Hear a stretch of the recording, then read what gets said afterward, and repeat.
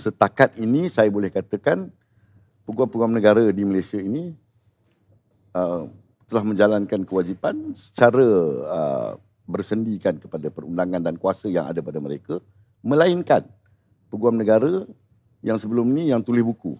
Hmm. ha, saya tak nak sebut nama tapi dia menulis yeah. buku memoir tentang diri dia. Sebab dalam memoir dia dia bercerita tentang bagaimana dia menjadi meletakkan diri dia sebagai menghambakan diri kepada kuasa politik yang melantik dia. Dan bila Perdana Menteri itu berhenti, dia pun berhenti.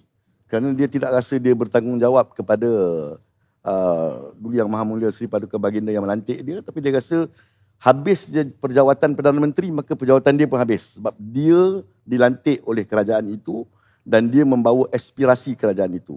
Dan inilah peguam negara yang membawa pendakwaan-pendakwaan yang ada sekarang ni terhadap Datuk Seri Najib ke, terhadap Datuk Seri Zahid ke terhadap mana-mana pemimpin yang menjadi isu hari ini tentang penawaan terpilih. Okay. Jadi saya membuat exception, saya membuat pengecualian. Ini adalah AG yang tindakan dia mesti menjadi scrutiny atau menjadi uh, uh, diperhalusi oleh umum sama ada tindakan dia itu.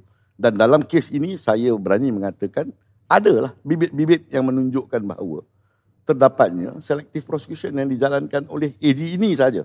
Saya tidak bercakap tentang lain AG. Saya bercakap tentang AG ini.